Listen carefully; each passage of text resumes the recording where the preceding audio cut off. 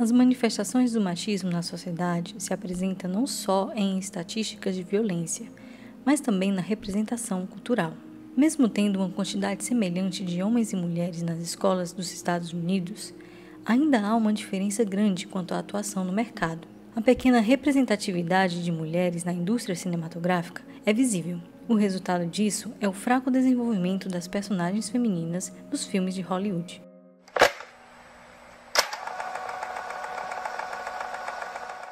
Bonita e burra, traiçoeira maníaca, sedutora sádica, são alguns tipos de personagens femininas que aparecem no cinema de Hollywood. Não sei se você já percebeu, mas muitos filmes usam imagens de mulheres seminuas ou nuas sem nenhum objetivo narrativo. Isso acontece apenas para agradar o público masculino. E o primeiro estereótipo que iremos falar se encaixa muito bem neste padrão. A mulher troféu normalmente está vinculada à ideia do herói, já que ela é frágil e precisa ser salva. Com isso, ela servirá como parte do prêmio ao herói pela sua coragem. Essas personagens são objetificadas e pouco desenvolvidas na trama. É muito comum a mulher troféu aparecer em filmes de ação, mas ela também aparece nos filmes de comédia, em que o protagonista homem, que é pouco atraente, possui uma esposa padrão ou está em busca de conquistar uma mulher jovem e bonita, e no final acaba conseguindo. A mulher no refrigerador é um conceito desenvolvido pela americana Gail Simone após ler a edição 54 do quadrinho do Lanterna Verde. Na história, a namorada do protagonista, Alexandra DeWitt, é morta e colocada no refrigerador. É claro que, dentro da narrativa, a morte é um recurso utilizado para gerar mudança no destino do protagonista. Porém, a morte excessiva das mulheres em filmes existe apenas para fazer o herói ir em busca de vingança. Isso é revoltante, pois nesse caso soa como uma saída preguiçosa por parte dos roteiristas. Nos dois estereótipos citados, a mulher serve apenas como um acessório na construção do personagem masculino. Com isso, a figura feminina é associada à fragilidade e a sua presença é descartável, sendo apenas uma ferramenta ultrapassada da narrativa. Kata Pollitt, em um artigo do The New York Times, mencionou o princípio Smurfette, que basicamente se trata em um grupo de meninos que são acompanhados por uma única menina, que geralmente é estereotipada.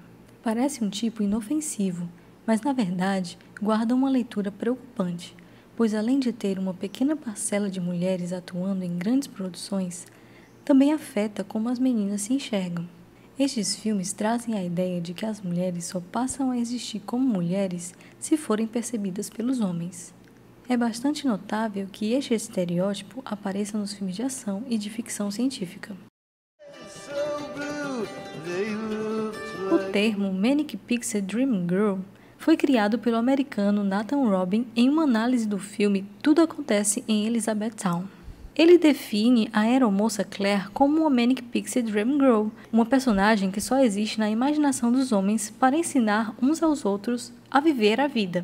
Estas personagens também são utilizadas como recurso narrativo para movimentar o protagonista homem. Normalmente são engraçadas, estranhas, simpáticas ou inocentes podem até se desenvolverem mais que os outros estereótipos, por terem uma personalidade mais complexa. Porém, isso acontece apenas em função do protagonista masculino. Como o nome já diz, as personagens que se enquadram no estereótipo da inocente sexy são mulheres inocentes e bonitas. Basicamente, são aquelas que saem do seu ambiente normal de convívio e vão para um lugar desconhecido em que elas não sabem nada. Sua atitude é infantil, apesar do corpo muito desenvolvido. Como tudo é novo para ela, age de maneira despreocupada, sem pudores ou limites. Então cabe ao personagem masculino ensiná-la a como se comportar. Normalmente nessas histórias, a inocente sexy se apaixona pelo tal homem, já que é o primeiro e único homem que tem contato, e com isso ela usa das suas habilidades para protegê-lo. Este é mais um estereótipo que só existe na imaginação masculina e é bastante preocupante, já que é um dos mais caricatos. Ao invés de desenvolver seu caráter, sua identidade, optam por infantilizar a mulher em sua inteligência para destacar sua aparência. A sedutora maligna é uma personagem composta por uma mulher antagonista, que faz da vida do mocinho um inferno. É mais conhecida na década de 30 e 40 como a mulher fatal. Essa é uma mulher sedutora que atrai a atenção do protagonista, mas que possui intenções de usá-lo para conseguir algo. São mulheres manipuladoras e dissimuladas, que não são o que aparentam. Este estereótipo aparece também nos dias atuais, em alguns filmes pode possuir uma forma demoníaca. Neste caso, além de ser vilã, ela também é uma criatura sobrenatural que se disfarça de humana.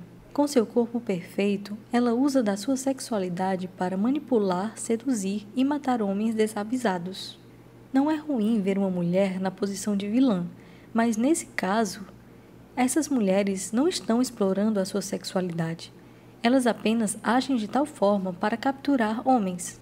Este estereótipo é muito perigoso, pois passa a ideia de que as mulheres bonitas podem ser traiçoeiras, vingativas. É mais um tipo que só existe na cabeça masculina. O fato é que os estereótipos são criados por uma indústria masculina que não consegue entender o feminino em sua complexidade e acham mais fácil elaborar tipos que se ligam aos personagens masculinos. A estereotipia é uma armadilha na construção das personagens femininas diminuem o imaginário feminino como parte do masculino e exclui o fato das mulheres serem indivíduos e não tipos. Muitas garotas crescem acreditando que precisam se adequar a esses padrões e passam a vida toda buscando isso. Então, é preciso abrir espaço para as mulheres na indústria cinematográfica, principalmente na criação de roteiro e direção, pois só assim as mulheres podem assistir um filme e se identificar com os personagens e não necessariamente desejar ser ela. Esse foi o vídeo de hoje. Se você quer saber mais sobre algum desses estereótipos, comente aqui embaixo que eu posso fazer um vídeo mais aprofundado sobre ele. Se você ficou até aqui, eu gostaria de agradecer porque isso ajuda muito no crescimento do canal. E não deixe de curtir, compartilhar com os amigos e ativar o sininho das notificações para saber quando tem vídeo novo. Eu sou Rayane e até lá!